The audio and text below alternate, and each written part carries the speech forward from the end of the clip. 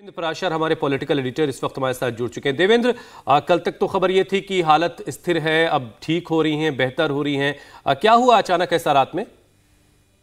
देखिए इसमें बहुत ज़्यादा डिटेल अभी इन्फॉर्मेशन तो है नहीं और जो जानकारी है निश्चित तौर पर बहुत दुखद है। प्रधानमंत्री नरेंद्र मोदी ने सीधे ये बताया खुद ही ट्वीट करके कि अब उनकी माँ नहीं रही और जो लाइन है सीधे सीधे आप देखें पहला लाइन अंदाज़ा लगाया जा सकता है कि दुख की कितनी ज़बरदस्त बेला है इस समय उनके लिए। जब शानदार शताब्दी का ईश्वर चरणों में विराम।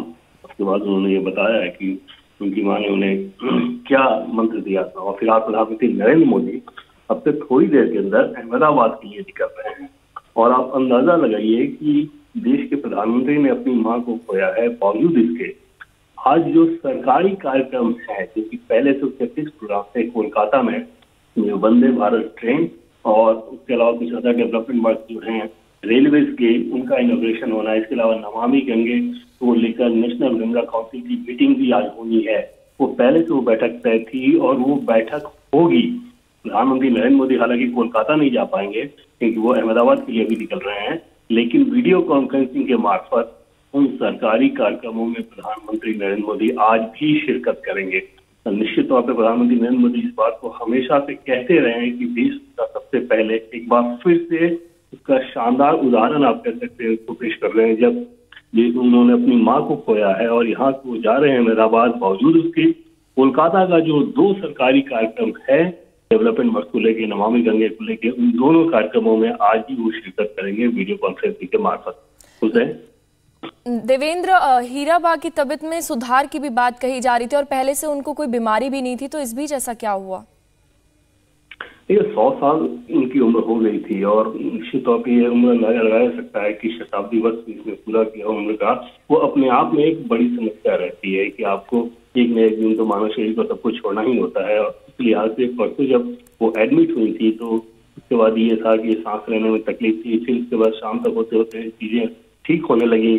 कल दिन में भी हमें जानकारी दी जा रही थी कि बहुत सुधार है, लेकिन रात होते होते फिर तबीयत बिगड़ी और अब से थोड़ी देर पहले उनका निधन हुआ और उसके बाद प्रधानमंत्री नरेंद्र मोदी को इस बात की जानकारी दी गई और प्रधानमंत्री नरेंद्र मोदी अब बस कुछ मिनट में ही अहमदाबाद के लिए निकलने वाले हैं।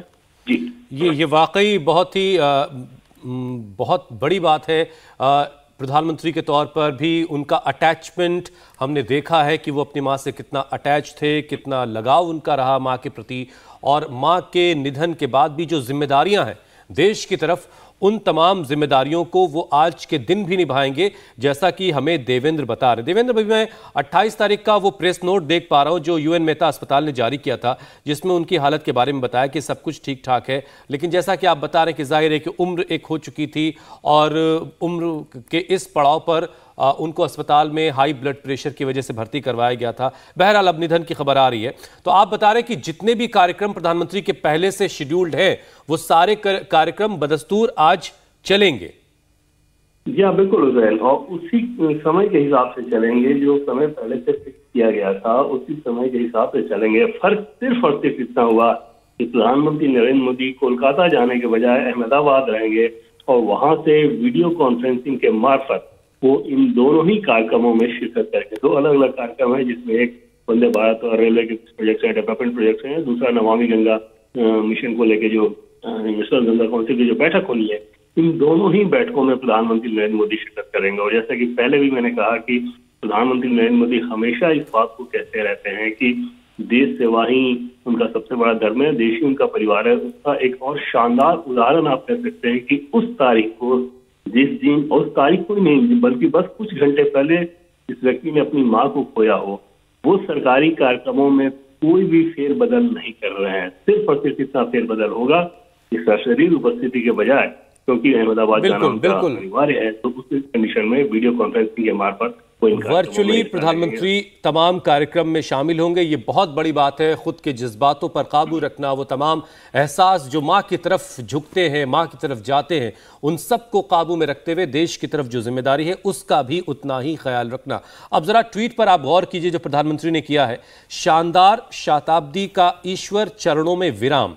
माँ में मैंने हमेशा उस त्रिमूर्ति की अनुभूति की है। एक तो शानदार जो शताब्दी शब्द है, आप समझिए कि 18 जून 1923 को हीराबेन का जन्म हुआ था और इसी साल 18 जून को वो अपने सौवें साल में दाखिल हुई थीं। और इसीलिए प्रधानमंत्री लिख रहे हैं, शानदार शताब्दी का ईश्वर के चरणों में विराम। कुछ इस तरीके से प्रधानमंत्री अपनी माँ के निधन के वक्त ट्वीट करके दुनिया को बता रहे हैं कि उनकी माँ अब इस दुनिया में नहीं है। माँ का साया उठ जाना हम सब बेहतर तरीके से जानते हैं कि माँ को लेकर के हर कोई कितना जज्बाती होता है। प्रधानमंत्री भी उतना ही अटैच अपनी माँ से हैं। और हमने इस बार भी प्रधानमंत्री की माताजी हीराबेन को वोट करते देखा। मतलब सब कुछ कितना नॉर्मल चल रहा था, सब कुछ बहुत सामान्य सा था। फिर भी, फिर एक दिन खबर ये आई कि कुछ हाई ब्लड प्रेशर की वजह से हीराबेन को अस्पताल में दाखिल करवाया गया है। और आज उनके निधन की खबर आ रही है। देवेंद्र, आप बता रहे हैं कि बस कुछ ही लम्हों में प्रधानमंत्री निकलने वाले हैं और इससे जुड़ा क्या अपडेट है आपके पास?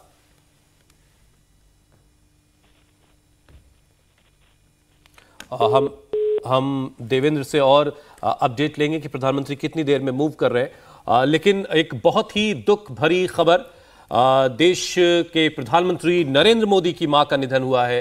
हीराबेन अब इस दुनिया में नहीं है। सौ साल से ज़्यादा की ज़िंदगी उन्होंने जी। प्रधानमंत्री नरेंद्र मोदी का उनकी तरफ़ जो अटैचमेंट है, जो उनसे लगाव है, वो हम सबने देखा है, पूरी दुनिया ने देखा है। इस दफ़ा, इसी साल, यानी 2022 में हीराबेन ने अपनी ज़िंदगी के 100 साल पूरे किए और इस बार हमने उनको वोट करते भी देखा। प्रधानमंत्री जब घर गए, उनसे मुलाकात की, वो तस्वीरें भी आईं। अभी जब अस्पताल में भर्ती हुई, प्रधानमंत्री वहाँ भी पहुँचे अपनी माँ का हालचाल लेने के लिए। और ऐसा लग रहा था कि सब कुछ ठीक है। और बड़ी खूबसूरत बात यह हुई कि तमाम राजनीतिक दलों की फ़र्क को मिटाते हुए सबने इस बात की दुआ की। तमाम राजनीतिक दलों की तरफ़ से, तमाम बड़े नेताओं ने दुआएँ की कि जल्द से जल्द प्रधानमंत्री की माता जी सेहतमंद होकर के अस्पताल से घर लौटे। वो राहुल गांधी हों, वो कांग्रेस अध्यक्ष खड़गे हों, प्रियंका गांधी हों, तमाम नेताओं की तरफ़ से अखिलेश यादव हों सबने इस बात की दुआ की, सबने इससे जुड़े ट्वीट किए और लेकिन विधि का विधान, कुदरत का निज़ाम है, जो दुनिया में आया है, उसे जाना होगा। और प्रधानमंत्री के लिए आज का दिन बहुत ही दुख भरा, बहुत ही गहरा झटका प्रधानमंत्री को आज के दिन लगा है। एक बड़ा नुकसान, बहुत बड़ा नुकसान बल्कि प्रधानमंत्री ने आज अपनी माँ को खो दिया है।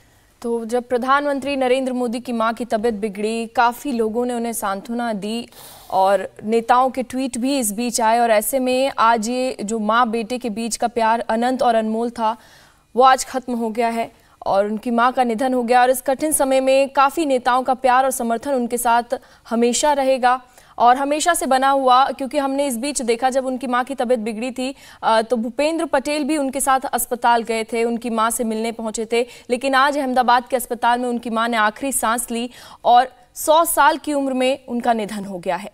इंडिया टीवी, हर वक्त। हर जगह। डाउनलोड करने के लिए सर्च करें India TV news Google Play store या एप स्टोर पर।